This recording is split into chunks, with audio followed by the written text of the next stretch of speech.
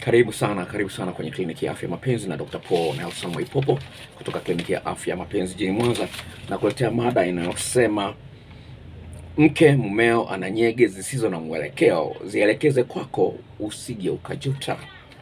Well, mada hii imeletwa na mama ambaye yuko ndani ya ndoa, mama mwenye umri wa miaka arobaini na moja. Nimebadilisha miaka hapo, sawa. Naomba nisome meseji yake alafu nikupe mrejesho. Kwa nini ninakuambia kwamba nyege za mumeo hazina mwelekeo na ni wajibu wako wewe kuzielekeza kwako?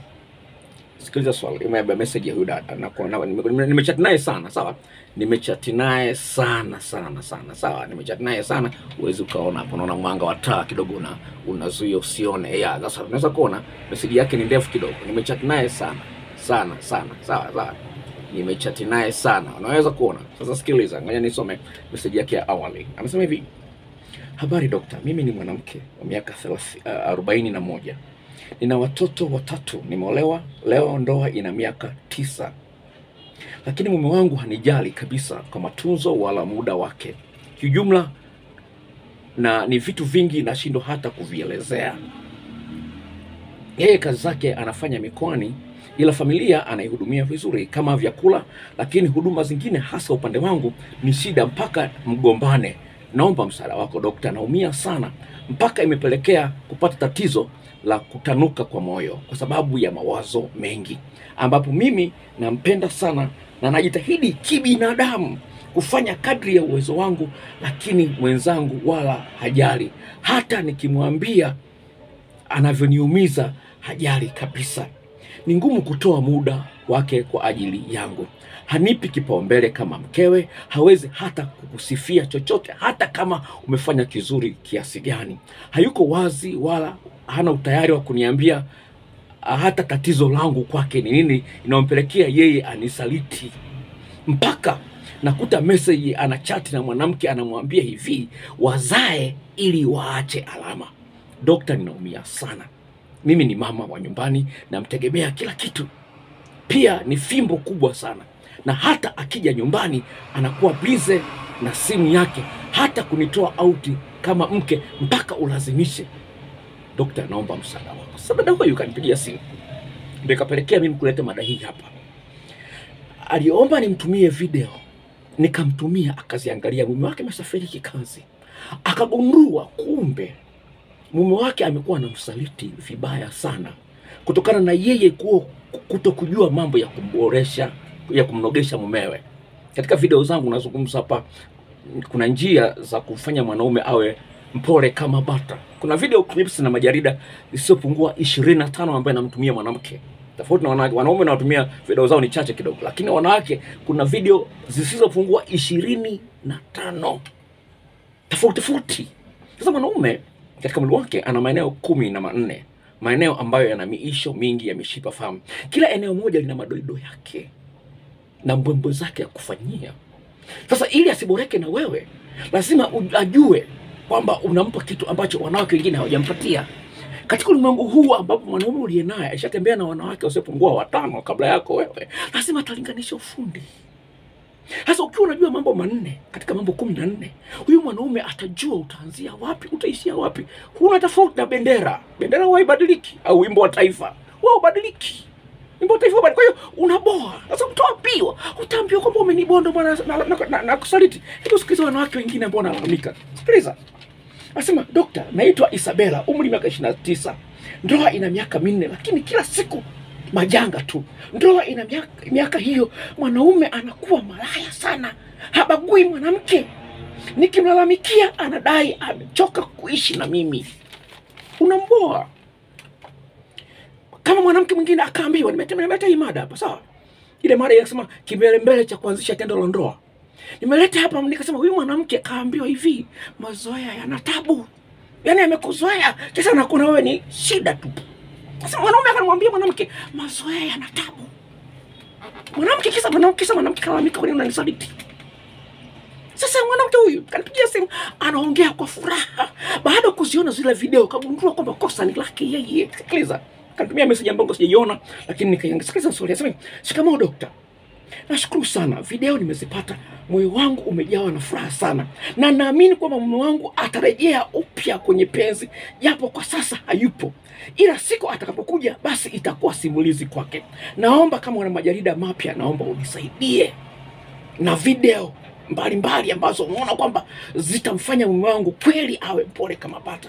Maana haya niliyojifuona niliyoyaona humu yamenisaidia sana kuelewa kwamba mimi ndiye niliyekuwa nasababisha matatizo kwangu mimi mwenyewe. Pia namna ya kufanya uke usijambe na nini kifanyike ili kukataa kukata shombo ya uke utatumia nini kusafisha uke kufanya usitoe harufu na uke uliolegea staili ya kufinyia ndani? Inakuwa changamoto. Nifanyaje? Kuna video maalum za kufinya ume mwanaume ili raha ya hali ya, hali ya juu lazima ufahamu jinsi ya kumtengenezea msuguano kwenye uume wake hasa kwenye eneo lile la kichwa. Kwa kuna video ambayo inafundisha hiyo ambayo nakutumia kwa email kwa gharama ya shilingi elfu kumi. Sasa ni hivi.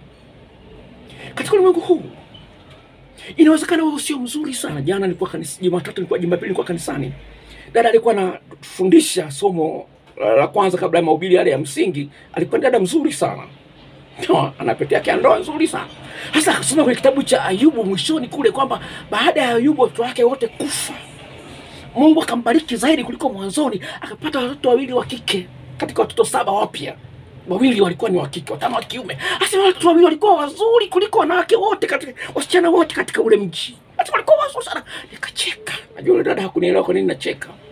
Yule rafiki yake anamcheka yeye, lakini hapana, alikuwa anacheka kumbe aha, kwa hiyo Biblia inasema kwamba kumbe wanawake wazuri, hata kwa Biblia inazungumzia kwamba kuna wanawake wazuri kwa sura.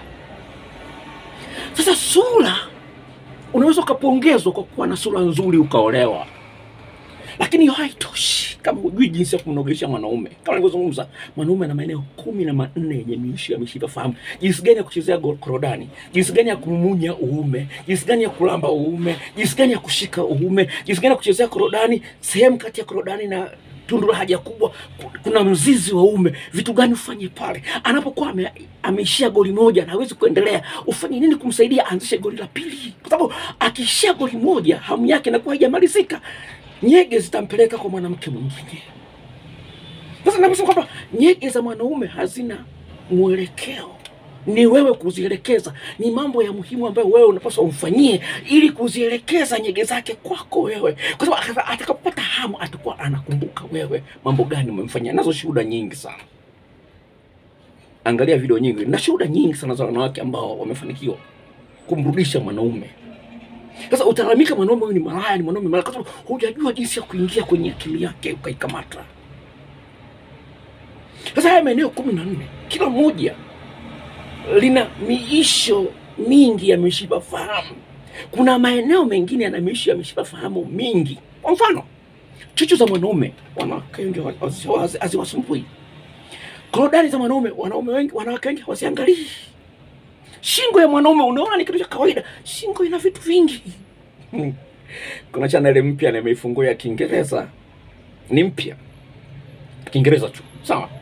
Sasa nimeandika moja kati ya video ambayo nimeiweka, imeangaliwa na watu wengi, nasema hivi, no one is immune to neck kissing, yani hakuna mtu ambaye anaweza akasema akichezewa kwenye shingo hawezi apata Anasema hakuna, anasema no one is immune. Yani immune ni kama vile hamna mtu yani, immune yani ni kinga ya mwili. Yani hakuna mtu ambaye anaweza kuzuia kupata utamu kupitia kwenye shingo. Sasa wewe unaiona shingo ni ya kawaida sana, lakini ukifahamu madoido ya kufanya na mbwembwe za kutumia nyuma ya goti la mwanaume, hujui ufanye nini, unaboa. Sasa napenda kwambia hivi sawa, utasema oh, daktari unazungumza biashara na nini. Napenda kwambia hivi, shuhuda kama hizi, huyu mama anaongea kwa furaha yeye mwenyewe mpaka moyo umetanuka, unaweka tu mambo. Kwa nini mume wangu anasaliti? Wewe unaona kwamba hujakosea, lakini huyu dada anasemaje? Sasa hivi, katika hali ya kibinadamu nimejitahidi kwa mbinu zangu zote, nimeshindwa, lakini nilipomtumia hizo video zisipungua ishirini na tano na, na, na kuona mbwembwe mbalimbali anazopaswa kuzitu, anazopaswa kuzitumia ili kuelekeza nyege za huyu mwanaume kwake, yeye mwenyewe anakiri kwamba alikuwa hajui mambo mengi wewe uko wapi? Angalia orodha ya video hapo chini, naiweka hapo chini. Agizi ya shilingi elfu kumi shule inauzwa. Namba yangu ya simu ni ifuatayo: sifuri saba tano nne sifuri tatu tisini na tisa tisini na nne. Narudia tena sifuri saba tano nne sifuri tatu tisa tisa tisa nne. Ukitaka ushauri kwa njia ya simu ni shilingi elfu tano. Kama unakuja usini huko Mwanza, shilingi elfu kumi. Kwa heri.